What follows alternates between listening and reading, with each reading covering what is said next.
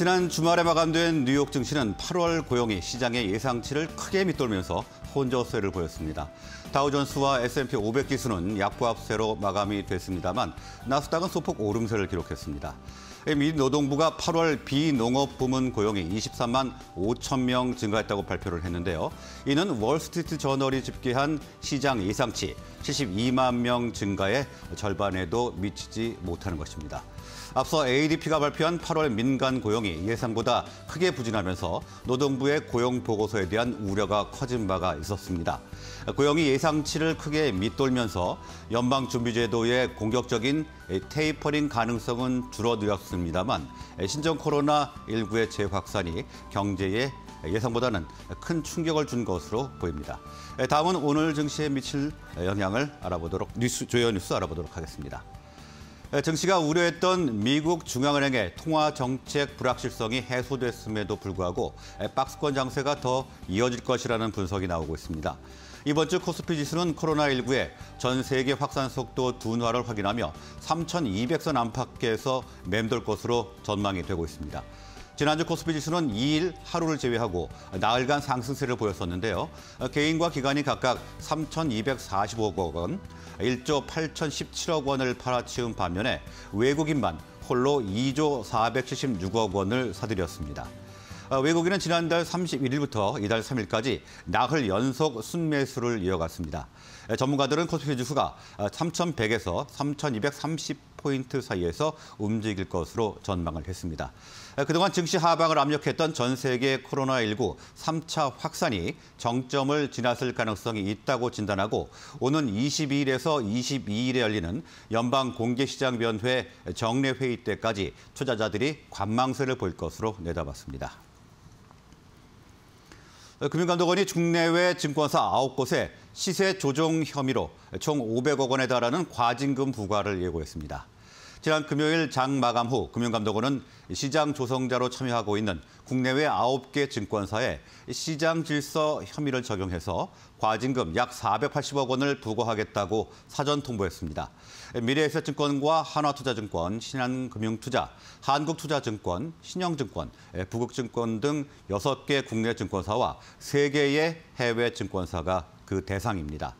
금감원은 주식시장에 시장 조성자로 참여하고 있는 증권사들이 일부 종목 시세에 영향을 주는 등 시장 질서를 교란한 혐의가 있다고 판단한 것으로 전해졌습니다.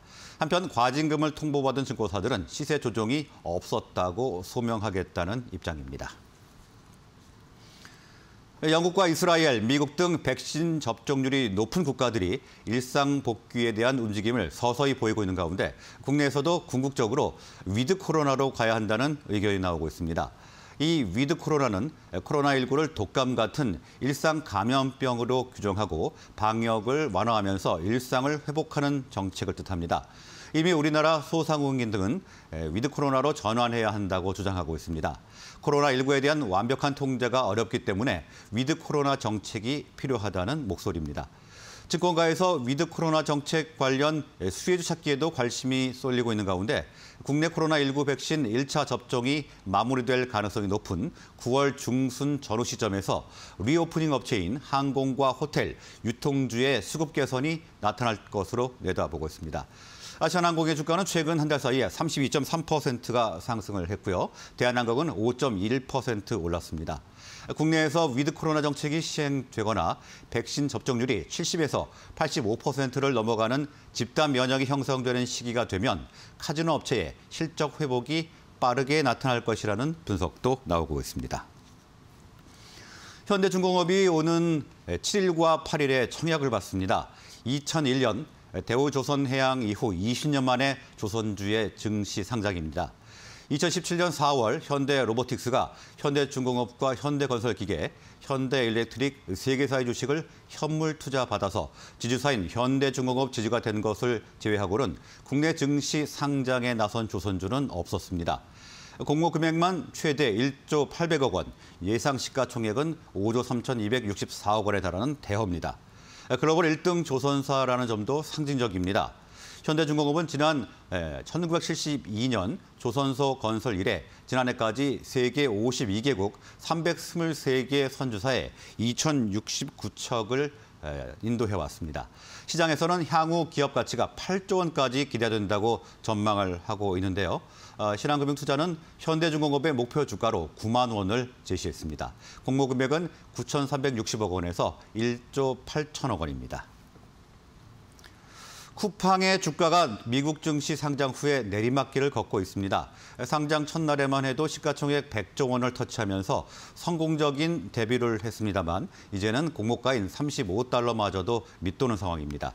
전문가들은 이 같은 주가 하락세가 쿠팡의 더딘 플랫폼 비즈니스 확장 때문이라고 지적을 하고 있습니다. 무엇보다 주가 매출 비율 5배로 파격적이었던 valuation이 오히려 발목을 잡았다고 평가하고 있습니다. 쿠팡의 fulfillment 서비스는 본격 확대가 2022년으로 예상이 되는 가운데 플랫폼 확장이 쿠팡의 광고 수익 증대로 이어져 valuation 상승 요인으로 분석되고 있습니다. 시장에서는 쿠팡의 주가 반등은 플랫폼 비즈니스 확장과 이에 따른 성과가 가시화될 때 이루어질 것으로 내다보고 있습니다.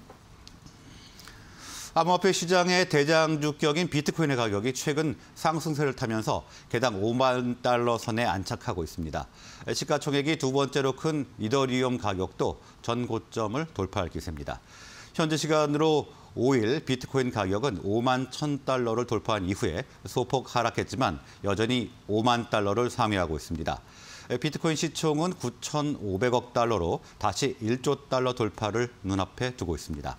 최근 비트코인 가격을 끌어올린 가장 큰 요인은 대규모 옵션 거래 물량이었던 것으로 분석됩니다.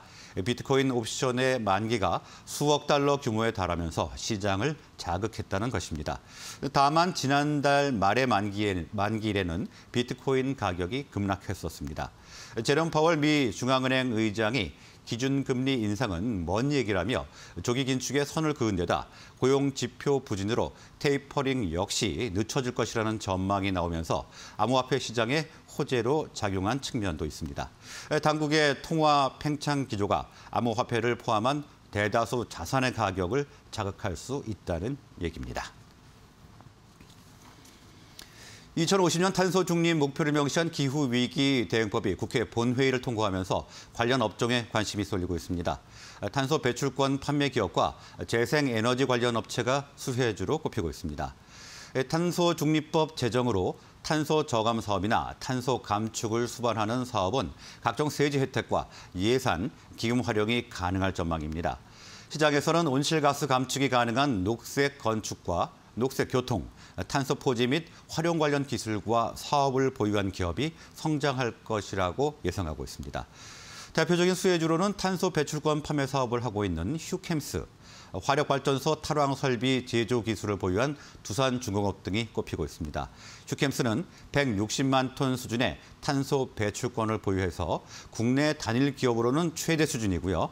어, 최근 탄소 배출권 가격이 급등하며 하반기 실적에도 긍정적으로 작용할 전망입니다. 태양광, 풍력 등 재생에너지 발전량 목표도 대폭 상승, 상향되면서 해상 풍력 발전 업체인 CS 윈드도 주목받고 있습니다. 태양광 수소 관련주인 두산 퓨얼셀, 삼강 MNT, OCI 등도 탄소 중립 관련주로 분류되고 있습니다. 지금까지 주요 뉴스 살펴보셨습니다. 다음은 오늘의 투자 전략 알아보도록 하겠습니다. 교보증권의 오기철 부장 연결되어 있습니다. 오기철 부장 나와 계십니까? 네, 안녕하십니까? 네, 안녕하십니까? 오늘 투자 전략 어떻게 가져가면 되겠습니까? 네, 일단 이번 주 계속해서 앞서 말씀하신 대로 탄소 중립과 관련된 이슈들 그리고 아, 자동차 관련된 이슈들이 계속해서 부각이 될 것 같습니다. 아, 지난 한 주간 동안 보면 가장 좀 이슈가 됐던 것 등이 어, 현대차의 이제 어, Hydrogen Wave 수소 week 주죠. 관련해서 또한 8일에 수소 기업 협의체도 출발하고 있고 그래서 일단 어, 수소 관련된 이슈들은 좀 많이 좀 다뤄졌기 때문에 어, 오늘 이 시간에는 어, 온, 내일부터 열리게 되는 독일 미네에서 열리는 세계 4대 모터쇼죠. IAA 모빌리티 2021에 대해서 잠깐 소개를 드리려고 합니다. 어, 이 어, 행사에는 현대차, BMW, 마그나, 인텔 등 550여 개 사에서 참여를 하고 있고 아, 탄소 중립 실현을 위한 모빌리티의 기술이라는 주제로 열리게 됩니다. 아, 일단 주목할 것은 아, 기존에 아, 내연 기관 자동차 대신에 전기차, 뭐 수소 전기차 등을 주 모델로 좀 앞세웠다는 점입니다. 여기서 이제 친환경차와 자율주행, 인공지능 등이 좀 발표가 되게 되는데요. 어, 국내 기업으로는 현대차, 현대모비스 등이 일단 참여를 하게 됩니다. 현대차는 여기에서 이제 탄소 중립 전략을 좀 발표를 하게 되겠고요. 어, 이제 주목할 만한 점은 세계 최초의 자율주행 택시인 IONIQ 5 로봇 택시 이제 실물이 공개됩니다. 아, 이거 같은 경우는 자율주행 레벨 4의 적용을 받아서 미국에서 2023년 차량 호출 서비스에 좀 투입될 계획인데요. 그래서 자율주행 관련된 이슈가 다시 한번 부각될 가능성이 있습니다. 또한 현대모비스 같은 경우는 전기차 기반의 완전 자율주행 컨셉트카를 좀 공개할 예정이라서 일단은 뭐 앞서 말씀하셨던 아, 수소차 관련된 이슈보다는 자율주행 관련된 이슈를 조금 더 다뤄보는 관점에서 접근하시면 좋을 것 같습니다. 어, 테슬라 같은 경우는 카메라 레이더들 활용해서 지금 자율주행 관련된 어, 사업을 계속해서 하고 있고 구글 Waymo 같은 경우는 LiDAR를 활용하면서 자율주행 관련된 사업을 영위를 하고 있습니다.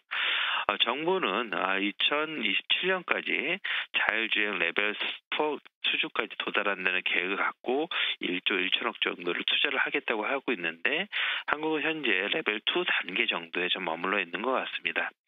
아, 그렇기 때문에 일단은 어, 정부 정부에서 밝힌 대로 세계 최초의 레벨 4 자율주행 상용화가 2024년에 일단은 선언한 대로 이루어진다고 하면 어, 차세대 지능형 교통체계가 구축이 되면서 이를 관련한 어, 회사들의 어, 수혜가 계속해서 이어질 것으로 보여집니다. 그래서 관련 업체들로 보게 되면 국내 대표적인 기업 중에 어, LG 이노텍, 켐트로닉스, 소형 업체 중에서 라닉스 정도를 좀 꼽을 수 있을 것 같은데요.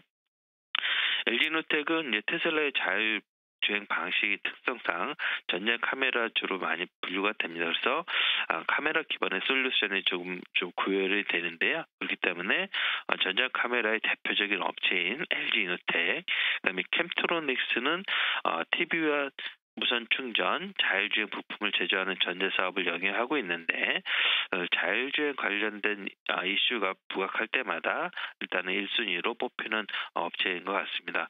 어, 동사는 일단은 하드웨어는 물론 카메라 센서 및 ADAS 기술까지 보유한 이제 자율주행 토탈 솔루션 업체로 좀 보시면 될 것 같습니다. 어, 마지막으로 이제 라닉스 같은 경우는 자동차 통신 및 보안칩 솔루션 전문 기업인데요. 및 보안 소프트웨어 플랫폼이 이제 V, V2X 를 개발을 했었는데 차량과 주변 차량, 주변 사물끼리 데이터를 주고받는 기술을 통칭합니다. 이런 것들을 개발을 해서 어, 일단 자율주행 관련해서 이수를 충분히 어, 받을 수 있는 종목이다 이렇게 좀 보여집니다. 그래서 어, 자율주행과 관련해서 아, LG 이노텍, 캠트로닉스, 아네스트 등등을 관심을 갖고 접근하신 전략 유효할 것으로 보입니다. 네, 오늘 말씀 고맙습니다. 교보증권의 네. 오기철 부장이었습니다.